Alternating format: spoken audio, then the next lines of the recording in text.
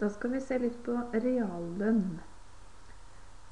Nå har vi regna med indekser en del. Og i sammenheng med indekser så må vi også nevne reallønn. For å kunne sammenligne lønn til en person fra ett år til et annet, så er vi nødt til å sammenligne lønnsutviklinga med konsumprisindeksen. Og når vi gjør det, så kaller vi den lønna vi finner da, for reallønn. Hvis den reallønna ikke øker like mye som eh, prisene ellers, så betyr det at vi har mindre penger å kjøpe for. Vi får dårligere råd, eller mindre kjøpekraft, som det også kalles. Reallønna har eh, indeksen 100. Og når vi regner på reallønn, så forteller det oss altså noe om hvor mye vi må tjene for å ha like god råd som det vi har hatt før. Og reallønn det er noe som er veldig aktuelt i bl.a. lønnsforhandlinger.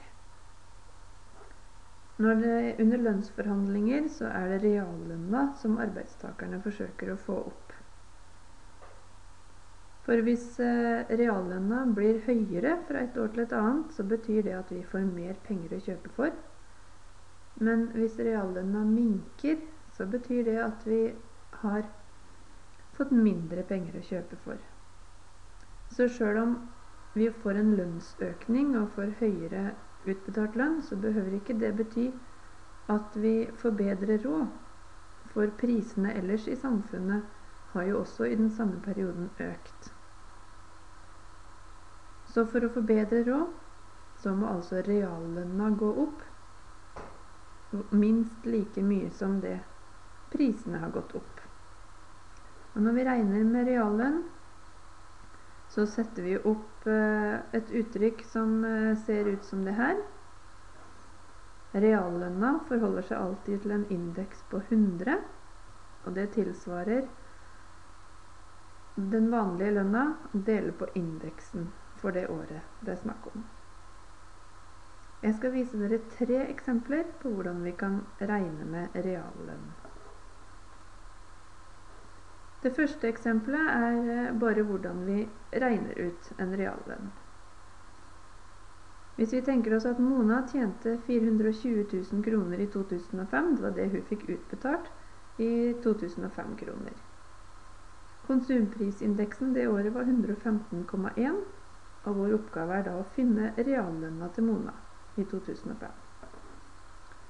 Nå har vi blitt vant til å lage tabeller når vi regner med, regner med indekser, og det gjør vi her òg. Vi lager en tabell som kan se ut som det her. Reallønna er den vi skal finne, så den setter vi øverst i venstre hjørne i tabellen vår. Og reallønna i det tilfellet her, den er ukjent, så der skriver vi X. Lønna den vanlige lønna som hun fikk, det var 420 000 kroner. Indeksen for reallønna er 100, men indeksen for den lønna hun fikk i 2005, den var 115,1.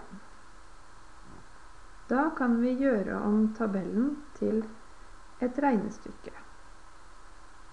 På samme måte som vi har gjort før. Og da setter vi opp uttrykket først. Da kan uttrykket se ut som det her. X delt på 100 er lik 420 000 delt på 115,1. Og for å regne ut det her da, så må vi flytte 100 over på den andre sida. Altså at vi ganger med 100 på den andre sida. Og da ser det sånn ut. 420 000 kroner deler på 115,1, som sto der fra før, så ganger vi med 100.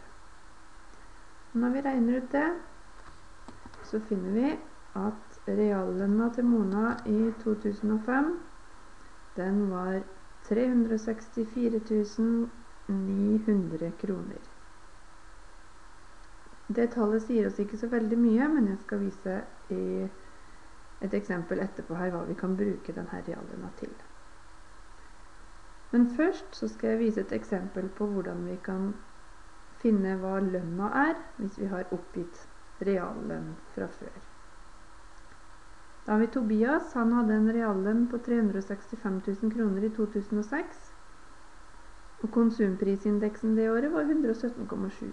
Og vår oppgave nå er å finne den vanlige lønna til Tobias i 2006. Da går vi fram på samme måte. Vi lager en tabell.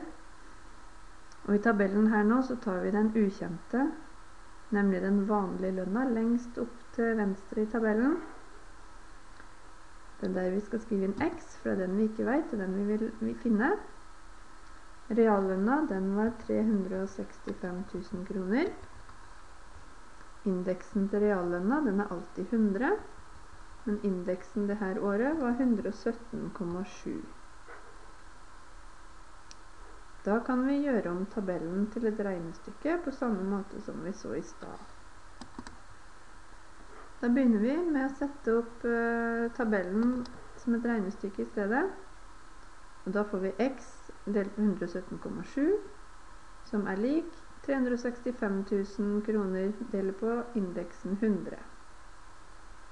Og denne gangen ser vi at det står 117,7 under x-en. Den må vi flytte over på den andre sida og dele. Og gange, unnskyld. Og da får vi det uttrykket her. 365 000 kroner delt på 100 sto fra før, og så ganger vi med 117,7. Når vi regner ut det, så vil vi få at den vanlige lønna som Tobias fikk utbetalt i 2006, det var 429 605 kroner. Men så skal vi se på et siste eksempel og det er hva vi kan bruke denne reallønna til. Da kan vi tenke oss at vi har ei jente som heter Miriam, og i 2007 så hadde hun en timelønn på 92 kroner. Året etter så hadde timelønna hennes økt til 97 kroner.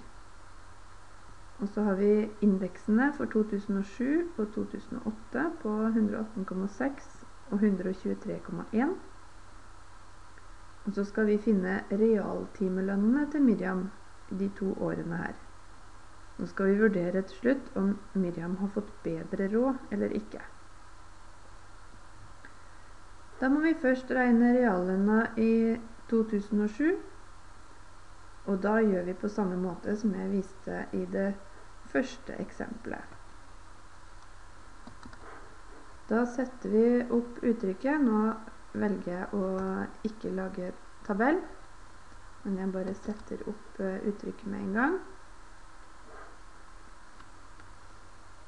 Reallønna vi skal finne, x delt på 100, er lik lønna delt på indeksen for 2007. Og når vi regner ut det her, så må vi flytte 100 over på den andre siden. Da vil vi få et uttrykk som ser sånn ut. Da ganger vi med 100 på den andre sida når vi regner ut det. Så får vi at realtimelønna til Miriam i 2007 den var 77,60 kroner. Og så må vi regne akkurat det samme en gang til. Unnskyld. For 2008. Da skal vi finne reallønna for 2008. Da bruker vi de tallene vi har for 2008 og setter opp et lignende uttrykk.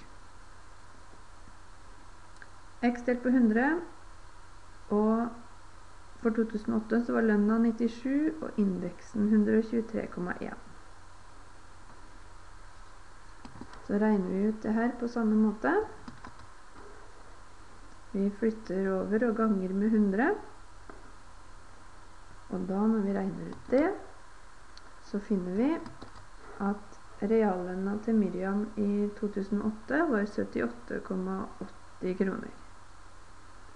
Da ser vi at reallønna har gått litt opp fra 2007 til 2008. Det betyr at reallønna til Miriam har økt litt mer enn det prisene har økt i den samme perioden. Og Miriam har da fått bedre råd. Hun får mer penger å kjøpe for når lønna øker mer enn prisene. Men det klarer vi ikke å se bare ut fra den vanlige timelønna på 92 og 97 kroner. Vi må gjøre om til reallønn for å kunne finne ut om vi faktisk har fått bedre råd. Da håper jeg at det var eh, greit å forstå. Lykke til.